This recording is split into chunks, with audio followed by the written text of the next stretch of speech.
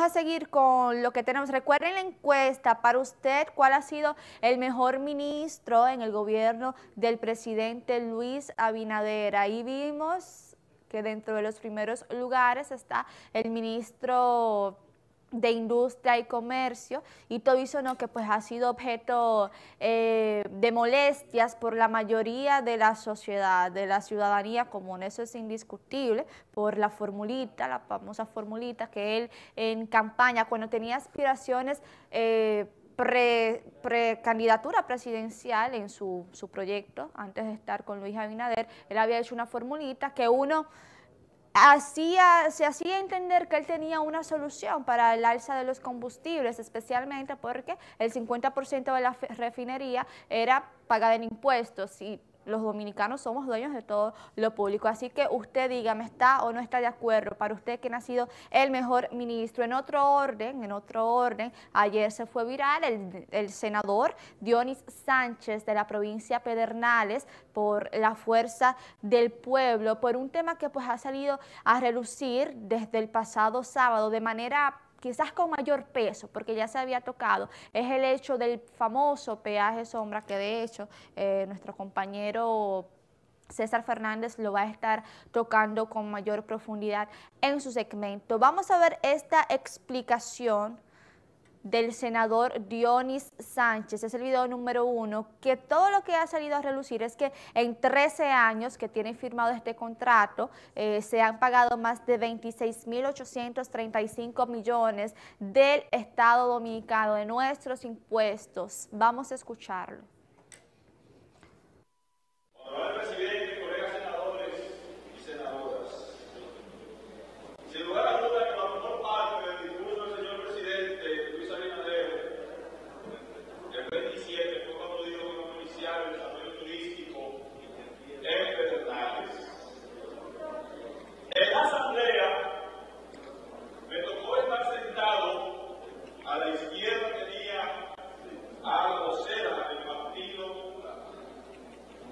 alla Veglia. Senatore dominicano, senatore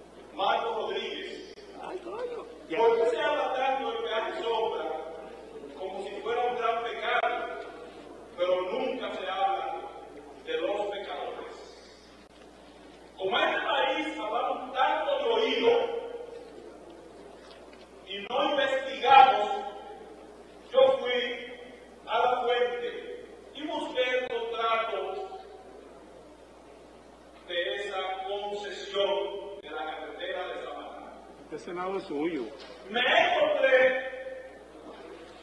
que en el Congreso, dirigido por el PRM, el presidente del Congreso en ese momento era Andrés Bautista García. Lo mismo. El presidente, el secretario, Ramiro Pino Fermín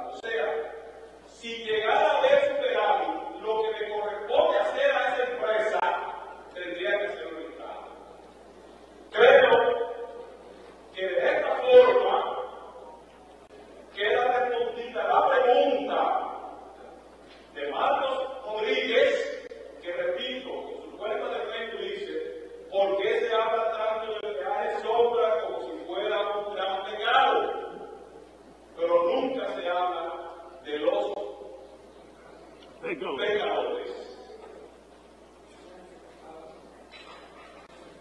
A lo que me preguntaron si yo iba a aplaudir, si tuviera que volver a aplaudir lo que dijo el señor presidente, vuelvo y lo aplaudo.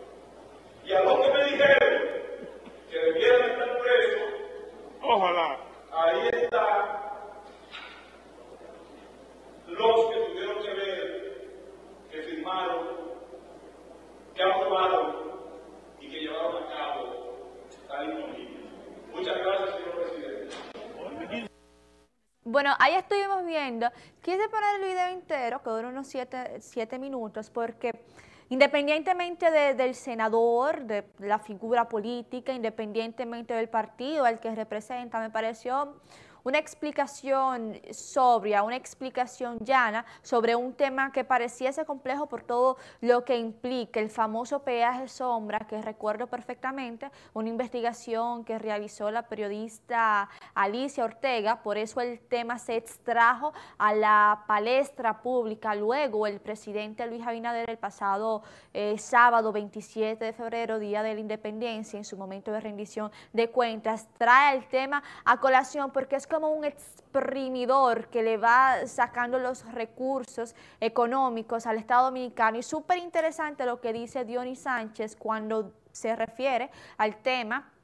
de que se mira el pecado más, no el pecador. Y es que este contrato, que para que entendamos un poquito más, es un contrato con un concesionario y cuando el cúmulo del costo que se cobra en el peaje, específicamente en la autopista del Nordeste, cuando no se llega a la cifra para cubrir los gastos de mantenimiento de parte de la empresa concesionaria, el Estado Dominicano tiene que cubrir esa parte, esa parte faltante. Entonces, por eso es que se habla de un peaje sombra, de un dinero que se supone que se tiene que pagar cuando uno va pues en el tránsito y que pues a veces no, no aparece, no se paga. Interesante hablar de que ese contrato se firmó en el año 2001 en el gobierno del expresidente de la República Dominicana, Hipólito Mejía, en ese momento pues con el Partido Partido Revolucionario Dominicano, PRD, hoy prácticamente un partido inexistente y sin ningún accionar importante y relevante en la democracia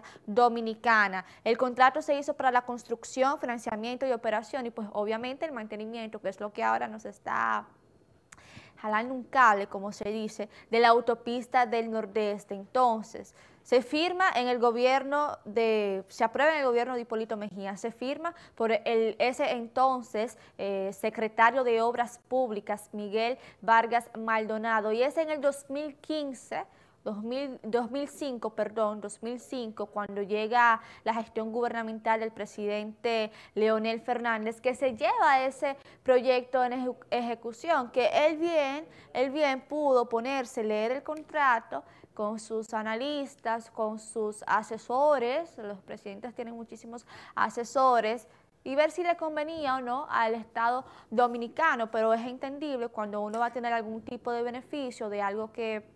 que se apruebe el hecho de, dejarlo pasar, aunque no sea lo que le convenga per al Estado Dominicano. Es un contrato que se tiene que revisar, ya lo ha dicho el presidente Luis Abinader, que eso por lo menos nos da un alivio, que se va a revisar el contrato y se va a ver si hay algún eh, método para zafarse legalmente de todo, porque solamente en este año en este año 2021 estamos nosotros a pagar, supuestos a pagar, unos 7 mil millones pesos dominicanos, dinero que muy bien se puede estar invirtiendo en salud, se puede estar invirtiendo en, el área de deportes, que de hecho el presidente no habló de, de, ese tema en su discurso, se puede estar invirtiendo en educación, que bastante falta que hace para uno poder mitigar la gran brecha digital que hay actualmente en República Dominicana.